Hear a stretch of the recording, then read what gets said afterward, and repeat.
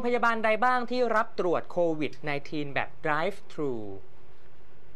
คุณผู้ชมครับ ข่าวในไทยในวันนี้ด้วยสถานการณ์การแพร่ระบาดของโควิด -19 หรือไวรัสโคโรนาเนี่ยนะครับกำลังแพร่ระบาดอย่างหนักๆทั้งในรประเทศไทยแล้วก็ทั่วโลกด้วยทำให้หลายคนเนี่ยกังวลว่า เอ๊ะ ฉันรู้สึกเจ็บคอ ฉันรู้สึก เอ่อเข้าข่ายเหมือนกับการเป็นติดเชื้อไวรัสหรือเปล่า หลายคนครับกังวลนะฮะแล้วถ้าไปตรวจที่โรงพยาบาลเนี่ยจะปลอดภัยไหมอืมนะฮะไม่อยากออกจากบ้านเลยทำยังไงดี วันนี้เฟรนและป๋าจวบรวมถึงทีมงานไทยๆเนี่ยรวบรวมพยาโรงพยาบาลที่ตรวจไวรัสโคโรนาหรือว่าไวเอ่อโควิด -19 เนี่ยนะครับแบบ drive thru มาฝากกัน หลังจาก ที่ก่อนหน้านี้นะครับที่มีโรงพยาบาลอย่างโรงพยาบาลรามคำแหงเนี่ยเขาก็มีมีมีมีตรวจอย่างนี้เหมือนกันอือฮึแต่เวลานี้เนี่ยหลายโรงพยาบาลเลยนะครับโรงพยาบาลอื่นก็มีบริการด้วยเช่นเดียวกัน วันนี้รวบรวมมาเลยครับ ตรวจโควิดแบบ drive thru เดี๋ยวเราไปดูกันมีโรงพยาบาลใดบ้างครับ โรงพยาบาลแรกที่เราจะมาพูดคุยกันนะครับ แล้วก็นำข้อมูลมาฝากนั่นคือโรงพยาบาลรามคำแหงครับเป็นโรงพยาบาลแห่งแรกที่ผมได้บอกไป แล้วก็เป็นโรงพยาบาลต้นแบบของการตรวจโควิด -19 แบบ drive thru ด้วยนะครับ เปิดให้บริการทุกวันครับ ตั้งแต่ 8 โมงเช้าถึง 18 นาฬิกา ส่วนขั้นตอนการรับบริการนั้นนะครับ ง่ายมาก โดยการลงทะเบียนผ่านแบบฟอร์มออนไลน์ สามารถทำการลงทะเบียนได้ที่เว็บไซต์ของโรงพยาบาลรามคำแหงนะครับ เข้าไปได้เลย search โรงพยาบาลรามคำแหงครับง่าย ๆ แล้วจากนั้นครับก็รอรับ SMS ครับ SMS นี่จะเป็นวันนัดตรวจจากโรงพยาบาล ต่อมาครับก็ชำระค่าบริการโดยการโอนผ่านระบบบัญชีของโรงพยาบาล แล้วก็นำหลักฐานการโอน หรือว่าสลิปการโอนนะครับมาแสดงแก่เจ้าหน้าที่ในวันที่เขานัดตรวจที่โรงพยาบาล รอผลภายใน 3-4 วันทำการนะครับ โดยแจ้งผลทาง SMS ครับคือตรวจเสร็จแล้วกลับบ้านเลย หรือว่าจะเป็นออรอแจ้งผลทางผ่านทางอีเมล แล้วก็ทางไปรษณีย์ค่าตรวจนะ ผมเอาค่าตรวจมาฝากกันด้วย อยู่ที่ 6,500 บาทนะครับเอางี้อยากได้ข้อมูลเพิ่มเติมก็โทรไปได้ที่โรงพยาบาลได้เลยนะครับโรงพยาบาลรามคำแหงครับหมายเลขโทรศัพท์ครับ 0 2 7 4 3 9 9 9 9 และอีกหนึ่งหมายเลขนะครับ 0 2 3 7 4 0200ถึง16 นะครับผมหรือว่าเว็บไซต์ทางโรงพยาบาลรามคำแหงก็ได้ครับผม ครับผมมาที่โรงพยาบาลที่ 2 นะครับ นี่คือโรงพยาบาลวิภาวดี เปิดให้บริการทุกวันตั้งแต่เวลา8โมงเช้าเลยฮะ จนกว่าคิวจะเต็มครับท่านผู้ชมครับ ขั้นตอนครับการรับบริการก็ง่ายๆฮะสามารถไปรอรับการตรวจด้วยตัวเองได้เลยครับ โดยแนะนำให้ไปก่อนเวลา 8 โมงเช้านะฮะเพราะทางโรงพยาบาลรับตรวจจำนวนจำกัดนั่นเองครับ แล้วก็รอผลตรวจประมาณ 2-5 วันหลังจากที่ได้รับการตรวจแล้วนะครับ โดยจะแจ้งผ่านผลผ่านทาง SMS สำหรับค่าตรวจนะครับ 6,500 บาทเท่ากันกับทุกโรงพยาบาลเลยครับ สอบถามข้อมูลเพิ่มเติมได้ที่ โทรศัพท์ 02-561-1111 หรือ Facebook วิภาวดีฮอสพิทอลนั่นเองนะครับครับ ฮะโรงพยาบาลที่ 3 ครับ เป็นโรงพยาบาลเกษมราชประชาชื่นนั่นเองฮะ เปิดให้บริการทุกวันตั้งแต่เวลา 8 โมงเช้าเหมือนกัน จนกว่าคิวจะเต็มเช่นเดียวกับโรงพยาบาลวิภาวดีครับสำหรับขั้นตอนการรับบริการนะฮะ ลงทะเบียนตรวจโควิด -19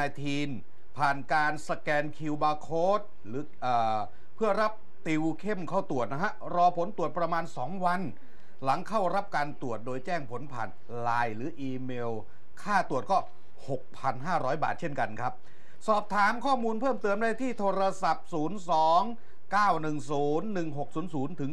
45 หรือเว็บไซต์ของทางโรงพยาบาลกระเสมราชนั่นเองครับครับ นอกจากโรงพยาบาลเกษมราช โรงพยาบาลวิภาวดีรังสิตนะครับ โรงพยาบาลรามคำแหงแล้วก็ยังมีโรงพยาบาล World Medical ด้วยนะครับเขาเปิดให้บริการทุกวันนะครับ ตั้งแต่เวลา 8 โมงเช้าถึง 6 โมงเย็นนะครับ ขั้นตอนการเข้ารับบริการนะครับ ก็เริ่มจากการลงทะเบียนตรวจโควิด -19 ผ่านทางการสแกน QR Code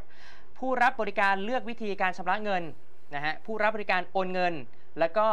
อัปโหลดสลิปโอนเงินเข้าผ่านทางระบบของทางโรงพยาบาล หลังจากนั้นนะครับทางโรงพยาบาลก็จะตรวจสอบสถานะการโอนเงินของคุณผู้ชมนะครับเมื่อตรวจสอบแล้วนะครับทางโรงพยาบาลเนี้ก็จะโทรยืนยันการนัดหมาย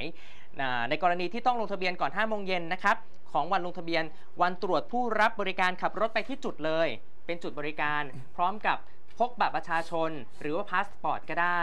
นะฮะแล้วก็รับการตรวจโดยบุคลากรทางการแพทย์ แล้วก็พร้อมกับหลักฐานการชำระเงินด้วยนะ โรงพยาบาลก็จะแจ้งผลการตรวจภายใน 2 วันนะครับ ค่าตรวจอยู่ที่ 6,500 บาทนะครับ สอบถามเพิ่มเติมได้ที่หมายเลขโทรศัพท์ 0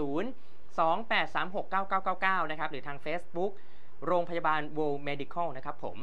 โรงพยาบาลต่อไปครับ โรงพยาบาลศิลแพทย์รามอินทราเขาเปิดให้บริการทุกวันนะครับ ตั้งแต่8โมงเช้าถึง5โมงเย็นขั้นตอนการรับบริการครับเหมือนกับโรงพยาบาลขั้นต้นเลยที่ผมได้พูดไปเมื่อกี้เมื่อสักครู่นี้ก็คือลงทะเบียนผ่านแบบฟอร์มออนไลน์ หรือว่าทาง Line สแกน QR Code ก็ได้ ง่ายๆครับ คุณพกบัตรประชาชนไป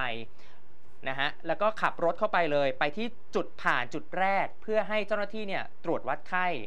อย่าลืมนะชำระค่าบริการด้วย ไม่ว่าจะเป็นชำระผ่านทางบัตรเครดิต ชำระเงินสดหรือว่าเงินโอนได้หมดเลยนะครับ แล้วก็เข้ารับการตรวจรอผลตรวจเขาบอกว่ารอเพียงแค่ 1-2 วันเท่านั้นเอง หลังจากนั้นก็เข้ารับการตรวจนะครับ โดยแจ้งผลผ่านทาง SMS